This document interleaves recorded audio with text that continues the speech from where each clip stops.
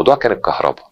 ويعني عايز أقول لحضرتك يعني ما فيش حكومة النهارده هتبقى سعيدة إنها بتضطر إنها تقطع الكهرباء أو ولو تضايق حتى أو. تضايق المواطن يعني ما فيش في. الم... في أي حكومة يعني هتبقى عايزة تعمل حاجة زي. الكلام ده. ولكن كان غصب عننا لأن. إحنا النهارده عندنا يعني ظروف كانت شديدة الصعوبه عندنا احتياجات الدولة نمت وتوسعت بصورة كبيرة جدا مش وإحنا الحمد لله كنا من البداية وتوجيهات سياده الرئيس اعملوا البنيه الاساسيه اللي ما تبقاش عندنا الازمه. وده اللي كان حاصل.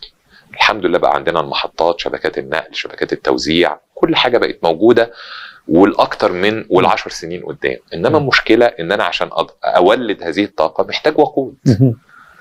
وقود بتكلفة مالية آه، بن- بنستورد جزء كبير جدا منه من الخارج. فالنهاردة كان كل شغلنا الشاغل إزاي نؤمن صحيح. هذا الموضوع.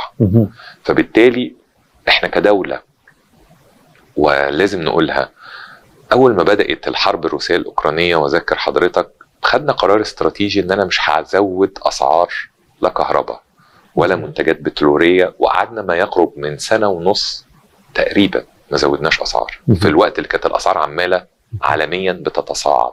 الكلام ده أدى على ضغط رهيب على موارد الدولة.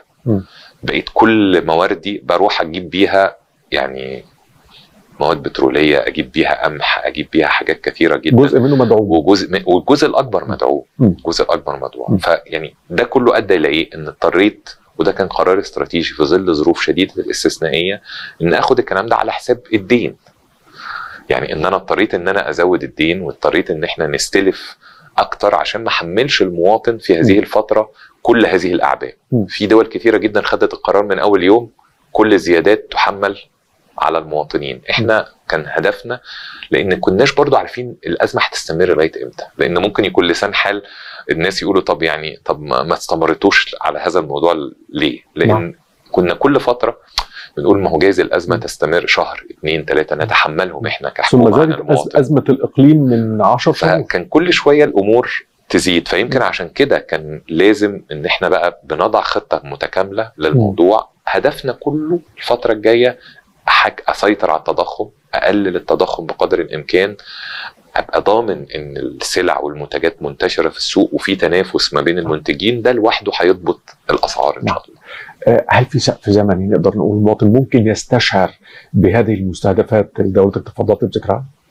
أنا قلت لحضرتك دلوقتي. حاليا التضخم بينزل والأسعار أعتقد من بد... أول ما بدأنا عملية الانفراجة الحمد لله نقدر نقول إنها في ثبات. وفي حاجات نزلت. وفي حاجات نزلت وأنا بتابع بنفسي موضوع النزول.